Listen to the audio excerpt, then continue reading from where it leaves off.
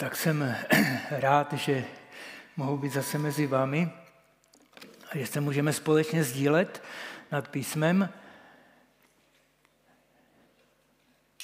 Kazacema evangelium, že tak nás to i učili. A v žalmech je evangelium. Ale budete si muset počkat až na závěr, aby jsme se spojili s tím příběhem, který jsme teď v úvodu četli. Protože skutečně budeme přemýšlet nad tou dobrou zprávou, která nám zní z 93. žalmu. Protože to je dobrá zpráva. Hospodin totiž králuje. Pojďme si ho přečíst, ten žalm. Ten já budu číst z Bible 21, to je, a když budu ty verše jednotlivé probírat, tak vždycky připojím ještě, ještě ten překlad ekumenický nebo překlad z Nové smlouvy, ještě zkrátka jiný, je trošku jinak je. Takže dneska je to krátičký žalm, takže dneska si ho probereme nádherně. 93. žalm. Hospodin kraluje, oblék se v majestát. Oblék se hospodin, silou se přepásal. Pevně je postaven svět, aby se neotřásl. Tvůj trůn byl založen dříve než čas. Od věčnosti jsi ty sám. Zvedají řeky, hospodine, zvedají řeky svůj hlas, zvedají řekl vin, vlnobití svá. Nad hřemění proudu mohutných, nad moře mocné bouření, mnohem mocnější je hospodin. Zcela spolehlivá jsou tvá svědectví. Tvému domu svatost náleží, hospodine, navždycky.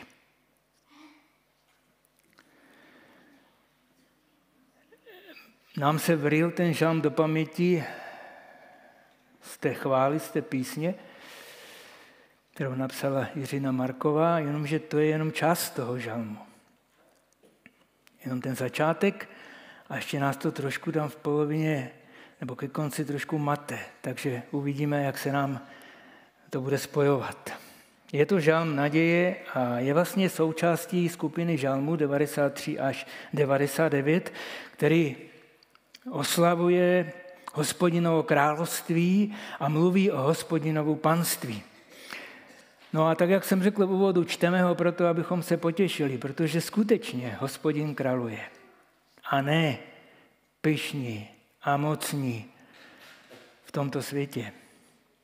Protože když se díváte kolem sebe a sledujete to světové dění, tak si říkáte, kam se to vlastně všechno řídí, kde se to lidstvo dostane. Jak to nakonec dopadne? Kdo to tady vlastně ovládá a řídí? Nevládne tu přece jenom nějaká slepá náhodnost, která přenechá moc zločincům, násilníkům, vrahům? Bible to říká jednoznačně. A není to jenom toto místo, je to víc míst. Tento svět, ba celý vesmír, není vydán na pospas moci temnosti, ale má svého pána a krále. A boží lid o to má vědět. A každý z nás máme s tou skutečností pevně počítat. A máme tomu věřit, máme si tím být jistí. Protože tak, jak vypadá naše víra, tak vlastně vypadá náš život. A tak se povzbudíme dneska tím vyznáním toho žalmisty, protože on nám ukazuje, jak věří a na čem je založena jeho víra a tedy mám za to, že i naše víra je stejně založena jako víra žalmisty. Tak nejdříve je tom znázornění Božího panství, pak se mluví o přesile Božího panství a nakonec se mluví o důvěře v Boží panství, nebo důvěřu, učí nás důvěřovat Božímu panství nebo Pánu Bohu. To znázornění Božího panství, to jsou ty první dva verše a jsou tam tři obrazy. Žalmy jsou poezie a Poezie se vždycky vyjadřuje v obrazech, takže ne úplně doslova, ale něco nám to naznačuje. Trojí obraz. Oblek se v majestát, hospodin oblek se v majestát, nebo oděl se důstojností, silou se přepásal. To je první obraz. který znázorňuje boží autoritu. Můžeme si to představit, ten oděv majestátu, to opásání silou jako něco jako uniforma policisty. Znázorňuje zákon. Nebo důstojníka. Nebo taky talár, soudce. Ta majestátnost a důstojnost zároveň napovídá, že ta jeho moc není hrubá a nasilnická síla, ale že je to důstojná síla, založena na právu a spravedlnosti. Bůh je spravedlivý a má zákonnou i soudní moc. Lidské zákony nejsou dokonalé. A lidské soudy se dopouští omylu a přehmatu, ale pán Bůh nikdy. Takže jeho autorita a moc je v jeho důstojnosti a síle. Ten druhý obraz. Pevně je postaven svět, aby se neotřásl. Nebo ano, i svět stojí pevně, nezhroutí se. Ta boží moc je nejen majestátní, chcete-li zákonná a soudní, ale také stvořitelská a tvůrčí, čili tedy i výkonná moc. To je ten druhý obraz. Totiž je to strašně smutné, nebo dokonce někdy trapné, když lidský soud odsoudí člověka podle zákona, ale vlastně už není síla, aby ten dotyčný nastoupil do vězení. Občas se to stane. Třeba uteče někde na druhý konec světa. Možná to takhle dopadne s mnohými válečnými zločinci na Ukrajině nebo jinde na světě, ale u Boha to tak není. On stvořil tento svět, on ho upevnil a on ho drží a udržuje. Je zajímavé, že právě po takovémhle panství touží člověk, aby měl zákonnou, soudní i výkonnou moc. Aby si udával zákony, aby soudil lidi, aby to ještě dokázal i vykonávat. A když se tohle stane, jako se to stalo na mnohých místech v Ázii, v Africe, včetně Ruska, pak je ohrožení nejen obyvatel těch států, které tam žijí, ale vlastně celého světa. Tam, kde v lidské společnosti není tahle rovnováha mezi soudní, zákonnou a výkonnou moci, tam vznikají diktatury. A proto je svět a společnost téměř nepřetržitě v nějakých hádkách nebo konfliktech, nepokojích a válkách. Ale žalmista vyznává, že ani tohleto, které, se tak, které je tak křehké, se vlastně ani tohleto křehké Bohem neotřese. Bůh vlastně i tenhle křehký svět drží velmi pevně.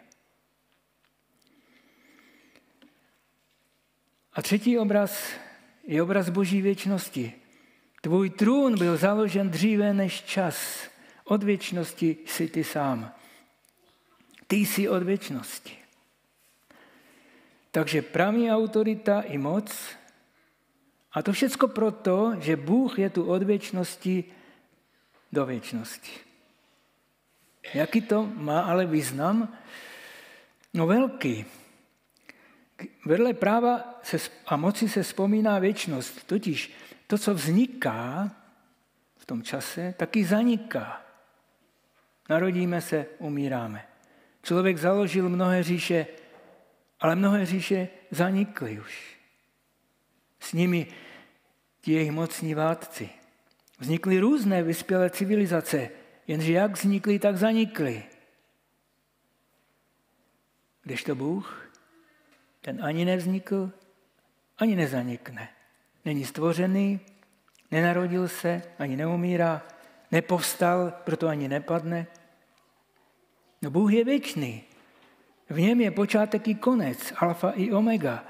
Není slepý osud, ale je pán, spravedlivý soudce. Postupuje podle práva.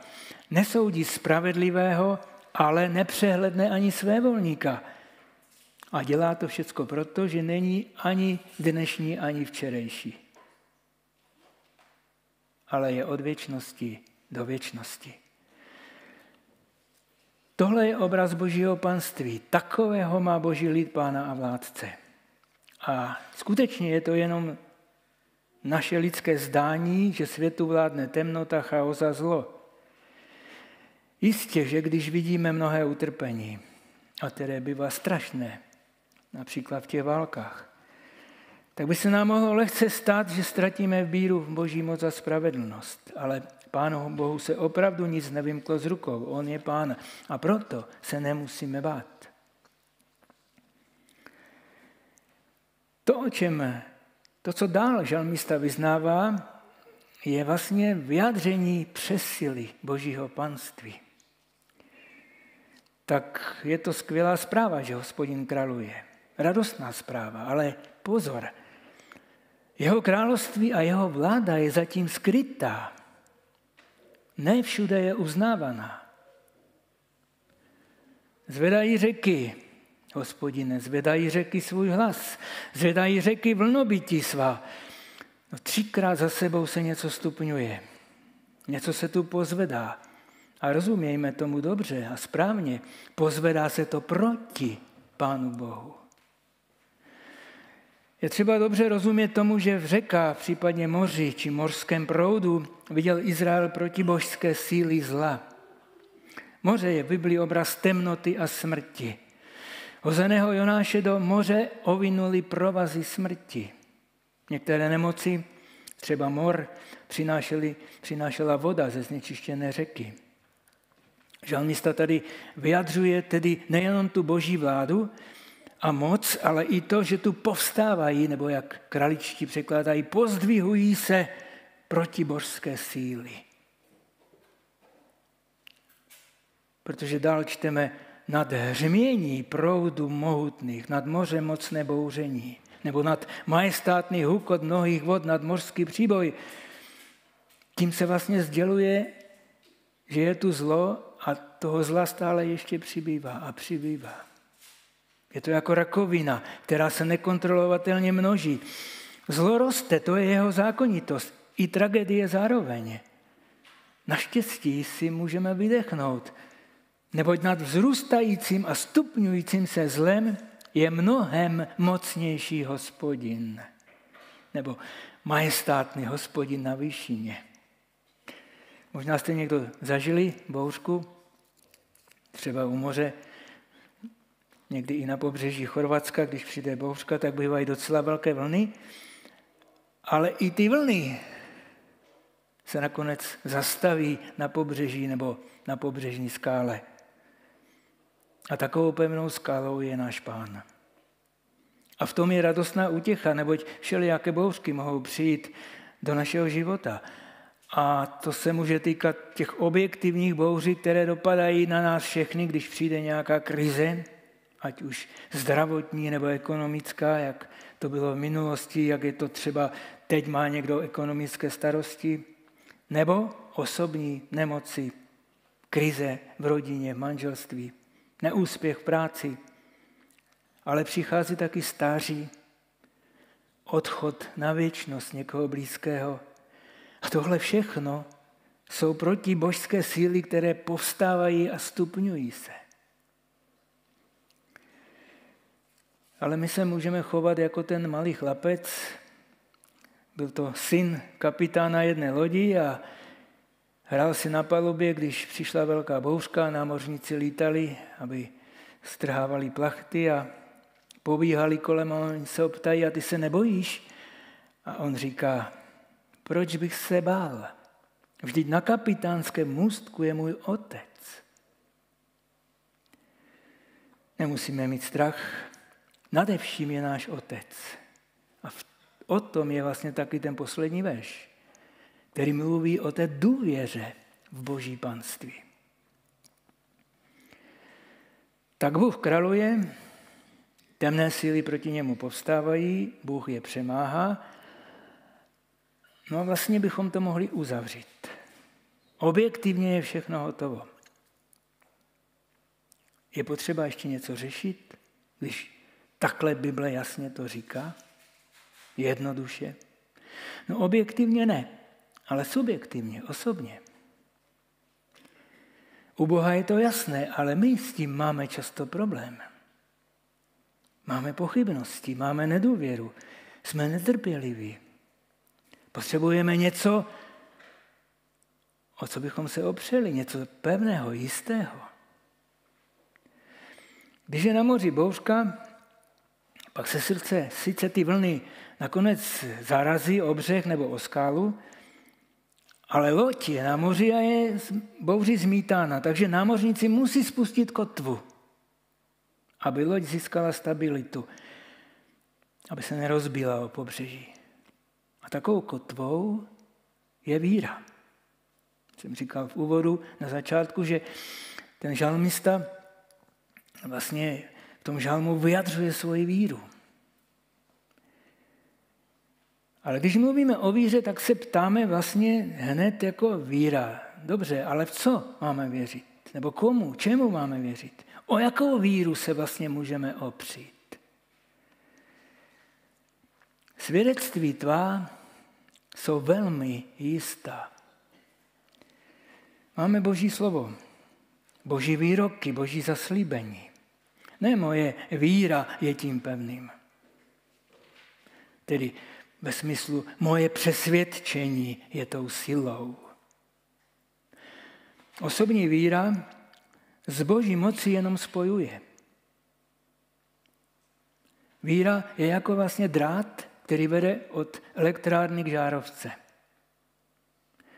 Víra, o které mluvím, považuje Boha za věrného a spravedlivého, pravdivého a mocného.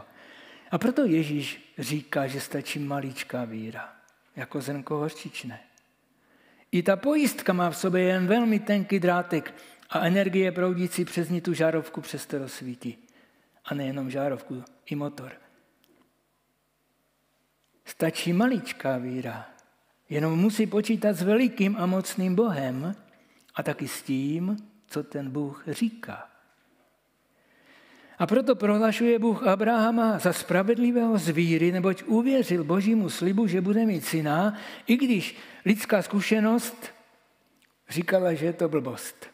Že to není možné, aby stoletý muž a 90, lena, 90 letá žena, že aby tito dva staří lidé měli ještě dítě. A Abraham dal více na boží slovo, než na lidskou zkušenost a to tež máme dělat my dát víc na Boží slovo, než na to, co říkají lidé. Nebo dokonce, co slyšíme z různých zpráv, nebo dokonce, co vidíme. Dneska už víme, že i to, co vidíme, se dá sfalšovat. Ale ani tady to vlastně nekončí. Závěr toho žalmu je, tvému domu svatost náleží hospodine, navždycky. Nebo hospodine, tvému domu sluší svatost po dlouhé časy. Boží lid ten byl vázaný na dům boží a na stánek a na chrám. Tam přebýval Bůh v Izraeli. To tak bylo. No dneska víme, že je jiná situace. Bůh žádný chrám nepotřebuje, žádný kostel nepotřebuje. Protože funkci chrámu převzal jeho syn, Ježíš Kristus, který o sobě říká, který o sobě mluví jako chrámu svého těla. Nebo apoštol Pavel v Koloským 2.9 říká, že v něm, v Kristu, tělesně přebývá veškerá plnost božství. Ježíši Kristu náleží nebo sluší svatost. Proč? No protože normálně utrpením a smrtí všechno skončí. To je konec, když někdo umře. Už tu není. Kdežto u Ježíše Krista ne. On ztratil život, aby ho získal zpět. A tak je to i s těmi, kdo ho následují. Máme ztrácet život pro něho, abychom život získali. A to je možné těm, kdo se učí důvěřovat, že Bůh přemáhá temné no- moci. Umyslně jsem řekl, učí důvěřovat. Protože přiznejme si to dobře, učíme se to celý život. A čím jsme starší, tím si uvědomujeme, jak nám to nejde. Když sledujete krasobluslaře, jak krásně lehce bruslí a skáče dvojité, trojité skoky, myslíte si, že byste to mohli taky na těch bruslích tak odjezdit? Asi tu není nikdo takový, jedině kdo by možná mladí krasobruslil. To se naučíte jenom, když od malička jezdíte a když tvrdě trénujete. Stejně to je to v jiném sportu vrcholovém, třeba v plavání.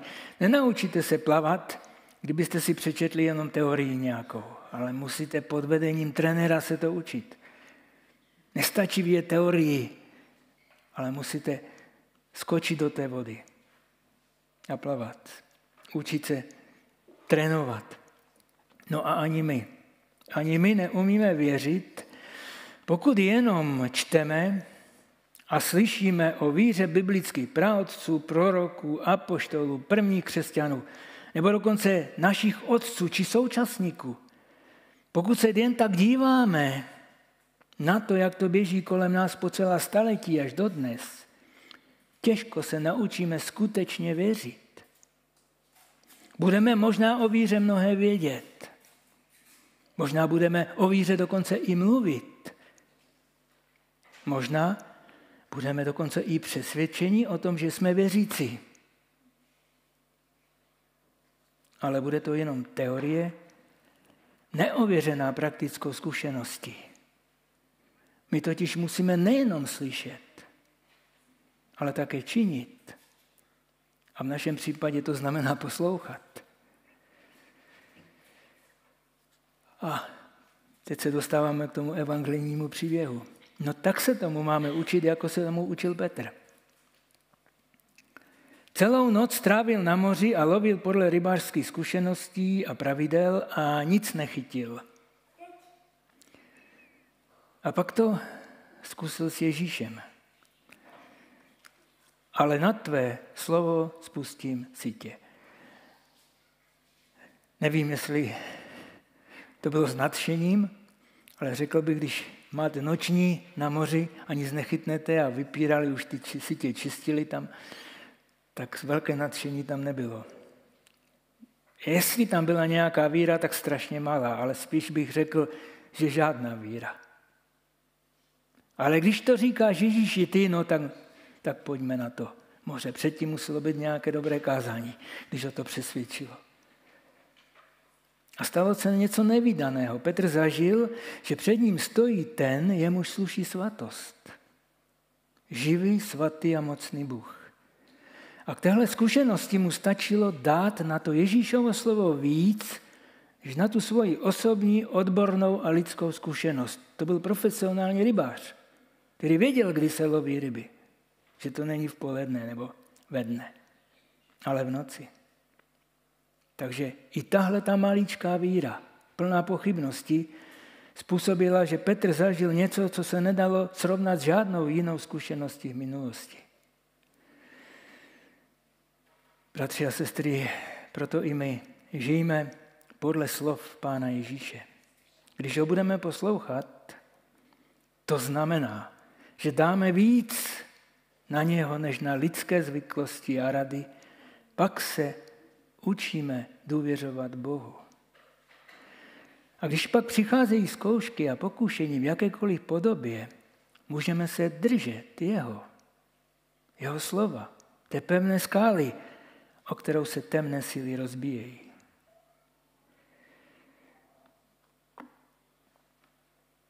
Co na závěr? Hospodin králuje. Žijeme v době, její smysl těžko rozluštíme. Válka na východě a ještě na mnohých místech světa jinde, kde se o tom tolik nemluví.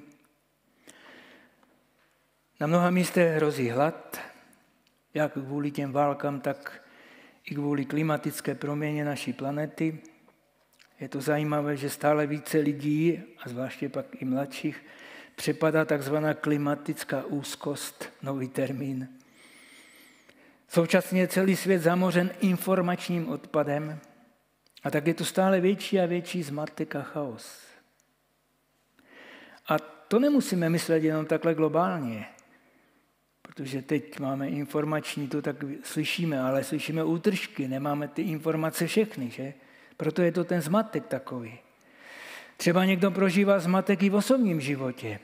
Jeho vlastní úděl se mu stává nepřehledným, něco těžkého přichází. Něco takového, jako třeba prožil Job.